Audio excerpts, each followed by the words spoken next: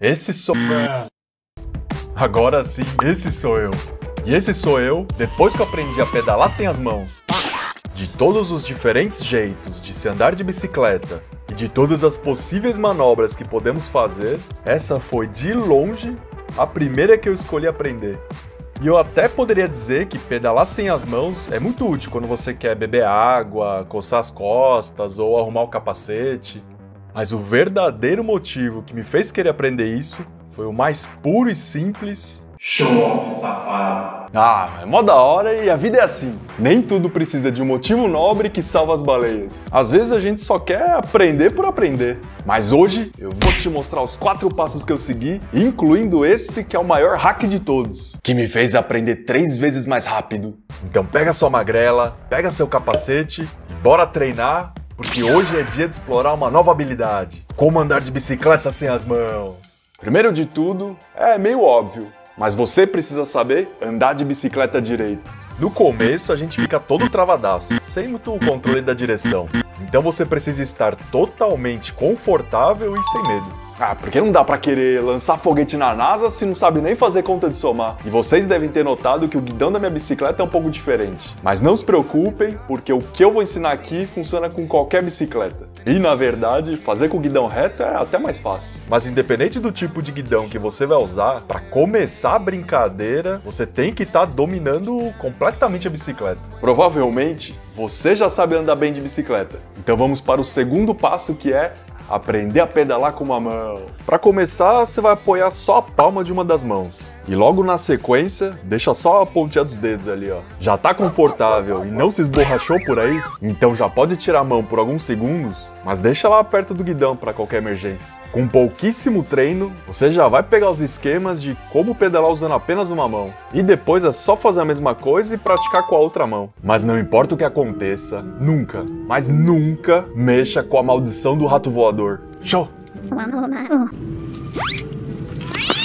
Partiu agora para o terceiro passo que é o apoio na bunda. Quando andamos de bicicleta, distribuímos o nosso peso entre o selim, os pedais e o guidão.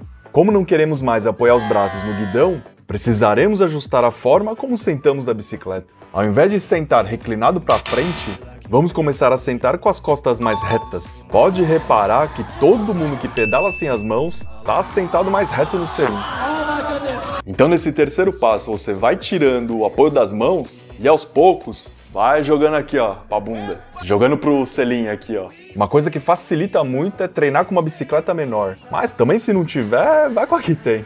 E não me vai fazer isso numa descida de paralelepípedo cheio de gente. Escolha um lugar reto, liso e sem pessoas. Não vai se matar de bobeira aí.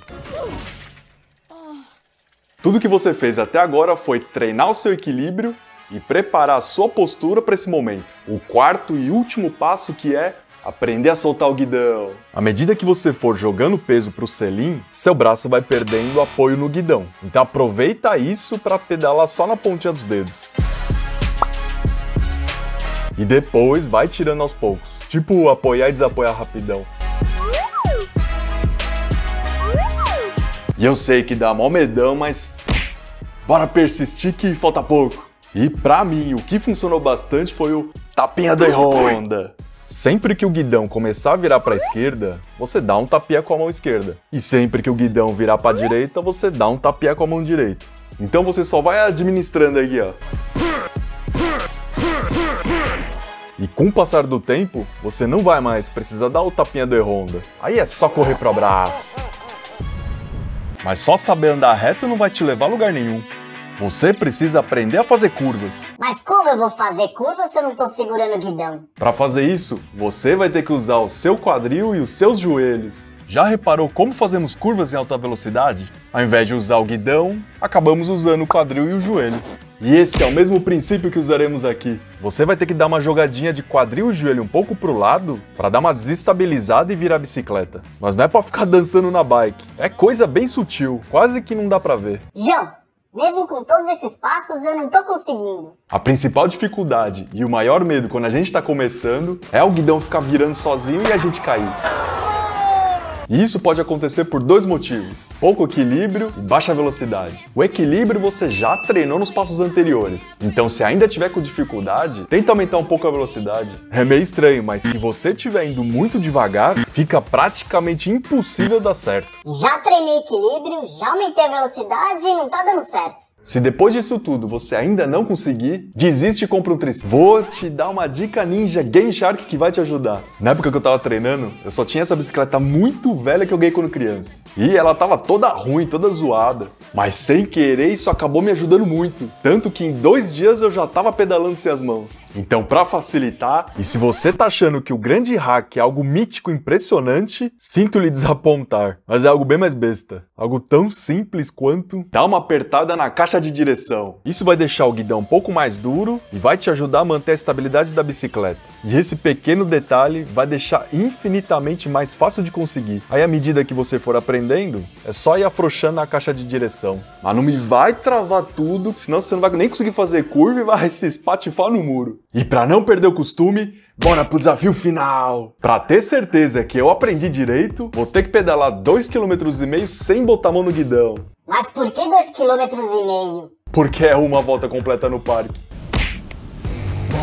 E mal comecei e a minha primeira tentativa já deu ruim, porque a porcaria da câmera ficou filmando meu saco. Câmera arrumada, agora sim partiu para a primeira tentativa. Mas o que eu não imaginava é que o sucesso desse desafio estaria por um fio. Porque o parque estava começando a encher e com isso chegou a galera que atravessa sem olhar, os bebês que correm aleatoriamente para os lados e os quadriciclos como os quadriciclos atrapalham. Mas eu não podia reclamar porque tava todo mundo se divertindo numa boa. O errado ali era eu. Mas apesar de tudo isso, fui vencido mesmo pelo meu próprio vacilo.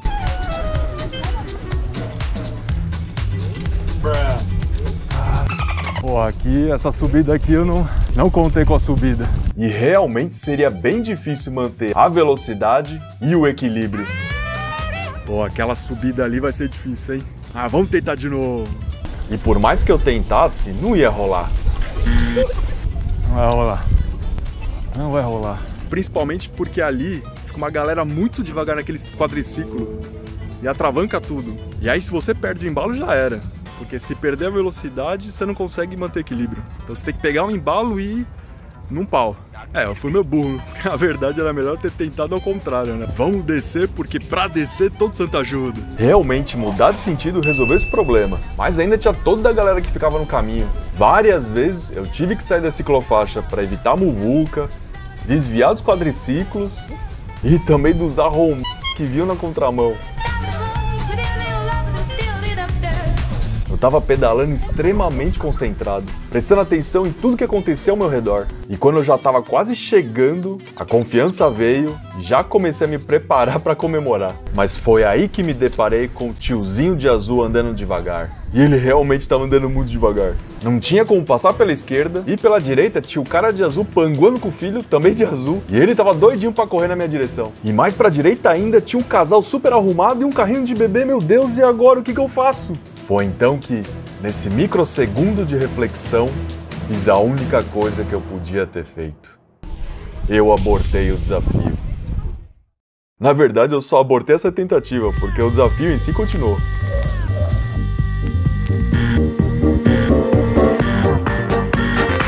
E depois de muitas outras tentativas, eu finalmente consegui completar a volta.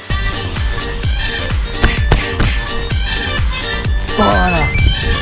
E se você está procurando um esporte barato de praticar e que dá para fazer várias manobras iradas, dá uma olhada em como pular corda que nem o profissional do boxe fazendo todas aquelas pirueta maluca.